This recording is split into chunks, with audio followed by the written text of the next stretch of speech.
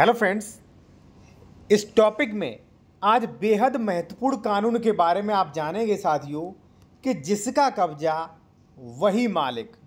ठीक है? इस पर कोर्ट ने आदेश भी दिए हैं और चार पाँच कंडीशंस भी बताई हैं और एक सेक्शन और है 144 जो प्रोविज़न करता है कि अगर किसी ज़मीन पे कब्जा है तो आप उस ज़मीन के अपने नाम डॉक्यूमेंट्स भी बनवा सकते हो। कानूनन। सभी सभी के बारे में बताऊँगा एक चीज़ और, जो कई लोगों के ज़मीन विवाद हैं, बेचारे वो कोर्ट कचहरी के चक्कर काट रहे हैं, कोई भी समाधान नहीं मिल रहा, उनके बारे में भी मैं कुछ बिंदुओं पर प्रकाश डालूँगा। साथियों, सबसे पहले मैं ये बताऊँगा आपको कि एक्चुअली कब्जा संबंधी विवाद आपके हो क्यों रही? ये विवाद बढ़ क्यों रही? ठीक है? कोई भी आपको नहीं बताता है। इसकी जो सबसे बड़ी वजह है, वो है साथियों, कि ज़मीन जब आप खरीदते हैं तो वह अच्छे से आप देखते नहीं उसके डॉक्यूमेंट्स वेरीफाई नहीं कर रहे हैं। या ज़मीन मान लीजिए, पैतृक थी तो कुछ गड़बड़ियाँ की आपने, वो क्या की? पहले वो जान लीजिए, उसके बाद में आपको कानून विधवत में आपको सारे के सारे बताऊँगा। विद सेक्शंस के ये वीडियो बहुत ही इंपॉर्टेंट होने वाला है। एक चीज़ मैं साथियों और कहूँगा, यदि आप कोई कानूनी सलाह लेना चाहते हैं तो आप ले सकते हैं कोई डॉक्यूमेंट्स चेक करवाना चाहते हैं, करवा सकते हैं। कॉन्टैक्ट नंबर हमारा वीडियो के डिस्कशन में दिया गया है। एक्चुअली साथियों, मैं आपको एक चीज़ बता दूँ कि कब्जा, अवैध कब्जा संबंधी विवाद होते ही नहीं हैं। अब आप कहोगे, ऐसा कैसे? ऐसा मैं इसलिए बता रहा हूँ, अक्सर जो भी विवाद होते हैं, वो या तो आपके, जैसे मान लीजिए आपका गाटा संख्या पाँच ज़मीन है। मान लीजिए कोई भी है, ये ज़मीन जो आपका ज़मीन नंबर है पाँच, ये ज़मीन है, ठीक है? अब जो भी विवाद होते हैं तो या तो ये जो दस नंबर वाला है, ये बंदा, या तो ये परेशान करेगा कि नहीं, हमारी ज़मीन यहाँ तक है, इसने कब्जा कर लिया, या तो ये परेशान करेगा। या ये जो जो भी मान लीजिए गाटा से सटे हैं, ये लोग परेशान कर लेंगे आपको, ठीक है?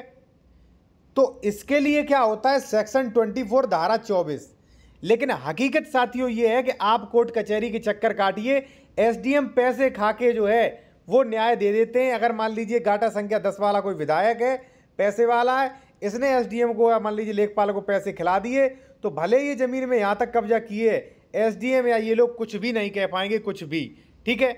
अब साथियों, बात क्या है? मान लीजिए चौबीस का आपने कर दिया, या तो पत्रावली निरस्त कर देंगे, या जाएँगे तो सीमांकन सही से नहीं करेंगे। कुल मिला के ये गाटा संख्या दस वाले का कब्जा नहीं हटवाएँगे, हकीकत ये है, ठीक है? तो पड़ोस वाला ही तो आपको कब्जा परेशान कर रहा है, या तो ऐसी समस्याएँ, ठीक है?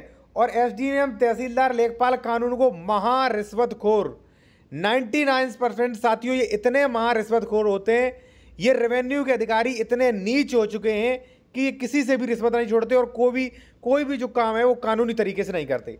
ठीक है, पहली चीज़। तो यहाँ से विवाद उत्पन्न हुआ, साथियों। अब मैं एक चीज़ और बताऊँगा।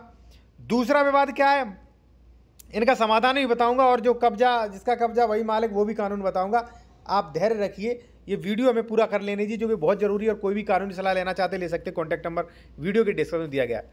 दूसरा साथियों क्या है कि मान लीजिए गाटा संख्या पाँच है आप तीन भाई हैं, ए बी सी ठीक है? ए बी सी तो या तो खातेदार संबंधी विवाद है ए कह रहा है बी से कि नहीं हमारा यहाँ तक है बी कह रहा सी से कि नहीं यहाँ तक। या तो सह खातेदारों का विवाद है ठीक है? कभी भी दूसरे गाटेदार यानी कि जैसे मान लीजिए ट्वेल्व नंबर वाला ये आके कभी भी कब्जा नहीं करेगा आपके पे। ना ऐसे विवाद हैं। विवाद जो भी हैं वो सह खातेदारक वाले हैं या तो मान लीजिए दस ने कोई दस, दस नंबर वाले ने कोई डिग्री कॉलेज बना लिया आपके में आप खूब काटते रहो कोर्ट कचहरी की चक्कर। कुछ नहीं होने वाला। हकीकत है ये, न्याय प्रणाली एग्जीक्यूटिव मजिस्ट्रेट ये इतने साथियों भ्रष्ट हो चुके हैं, इनकी नीचता की कोई बात न की जाए तो बेहतर है। हकीकत है ये 99 परसेंट ठीक है, मैं एग्जीक्यूटिव की बात कर रहा हूँ, यहाँ पे जुडिशली की नहीं। ठीक है साथियों, एक चीज़ और, आप मुझे ट्विटर पर भी फॉलो करिए लिंक वीडियो के डिस्क्रिप्शन में दी गई है साथियों। ठीक तो अब आप जब रजिस्ट्री कराते तो भाई ध्यान रखिए कि यहाँ पे 116 की 117 की धारा 24 की कार्रवाइयाँ हो चुकी हैं कि नहीं? अगर हो चुकी हैं तो ही ज़मीन खरीदिए। अगर नहीं हो चुकी हैं तो आप 116, 117, 24 करके आप पहले ही अपनी ज़मीन सेपरेट कर सकते हैं जिससे भविष्य में कोई विवाद ना हो आपके जो भी बच्चे हैं वो परेशान ना हो। मैं आपको बता रहा हूँ कोई आपको नहीं बताएगा ये चीज़ें ठीक है ना?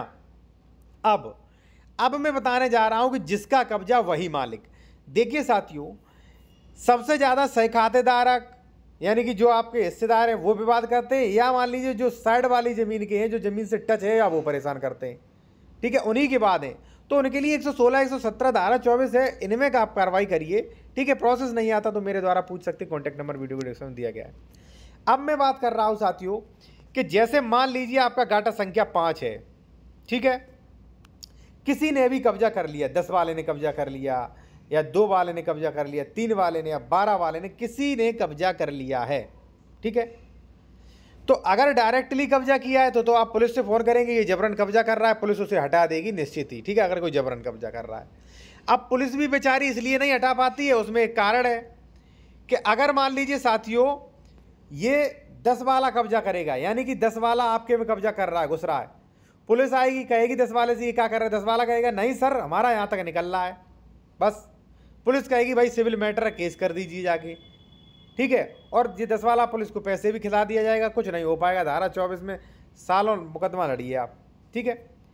अब इसमें कानून क्या दिए गए? अब देखिए, जिसने कब्जा किया, उसके फेवर में कानून कितना बुरा दिया गया?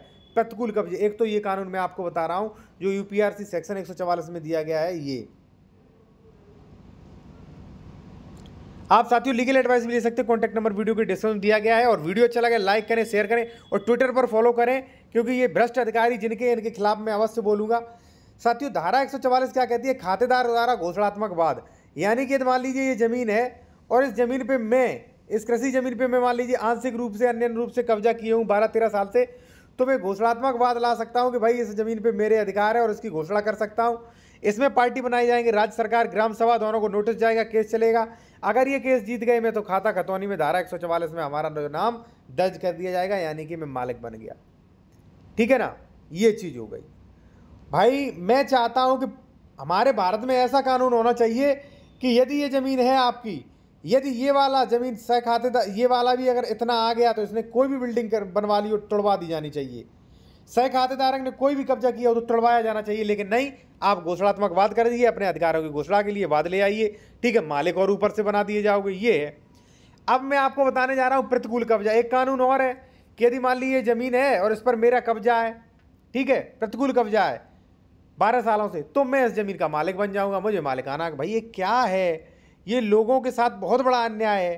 केवल अपराध जो मान लीजिए मारपीट या गोली मारना ही अपराध थोड़ी नहीं, ये भी बहुत अपराध होते हैं। मान लीजिए पूरी ज़िंदगी बेचारा आदमी कोर्ट में, कोर्ट कचहरी में चक्कर काटता है। इस पर कानून बना दिया साथियों। अब देखिए इस पर जो है, राधे श्याम बनाम बी संध्या सुप्रीम कोर्ट ने एक आदेश दिया है कि भाई प्रतिकूल कब्जा के आधार पर अगर मान लीजिए मालिकाना लेना है तो मिल जाएगा। लेकिन कुछ आप नियम शर्तों का पालन करिए। वो क्या है नियम शर्तें? वो आप जान लीजिए। पहला है कि जो भी बात, मान लीजिए ये एक्स ज़मीन आपकी है, मैं हूँ ए मैंने कब्जा कर लिया, आप बी आपकी ज़मीन है। तो मैं बन गया वादी, क्योंकि आपकी ज़मीन पे मालिकाना पाना चाहता हूँ। तो वादी को दलील देनी होगी, यानी कि मुझे दलील देनी होगी, आपकी ज़मीन पर साबित करना होगा कि वास्तविक कब्जे का मालिक, यानी कि प्रतिकूल कब्जा का दावा कर रहा है। पहले मुझे ये साबित करूँ कि भाई मैं प्रतिकूल कब्जे के आधार पर दावा कर रहा हूँ, मुझे मालिकाना हक चाहिए और इसलिए मैंने केस किया है, ठीक है?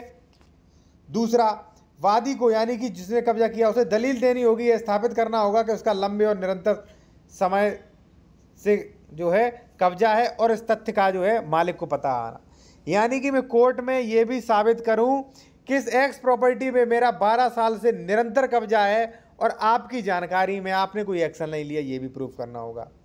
तीसरा है साथियों कि वादी को यह भी निवेदन करना होगा और स्थापित करना होगा कि वह कब्जे में कब से आया।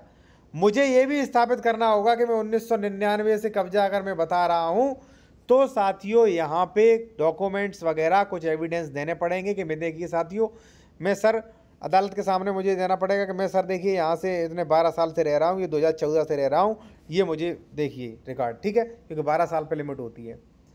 इसके बाद साथियों, वादी को यह स्थापित करना होगा कि उसका कब्जा खुला तथा निर्बाध है, यानी कि मुझे ये भी स्थापित करना पड़ेगा कि महोदय, इस पर कोई भी विवाद नहीं हुआ है। कोई मामला पेंडिंग में नहीं, कोई केस नहीं चल रहा, हमारा कब्जा खुला एवं निर्बाध है। अगर इतनी चीज़ें मैंने कोर्ट में, दलील में साबित कर ली तो इस ज़मीन का मालिक हो जाऊँगा मैं, और आप जाइए कोर्ट कचहरी के के चक्कर काटते रहिए, आप पीड़ित बन रहे कितना गंदा कानून है साथियों।